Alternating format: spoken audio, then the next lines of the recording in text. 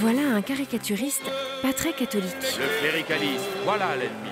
C'est une affiche majeure, une affiche à la fois politique, une affiche de presse et une affiche qui a marqué son époque. Gustave Josso, portrait d'un homme dérangeant. Est-il dans la provocation ou dans la rupture?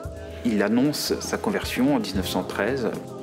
Euh, Josso est traité de renégat. Josso, de Gustave à Abdul Karim, samedi à 15h20 sur France 3 Bourgogne.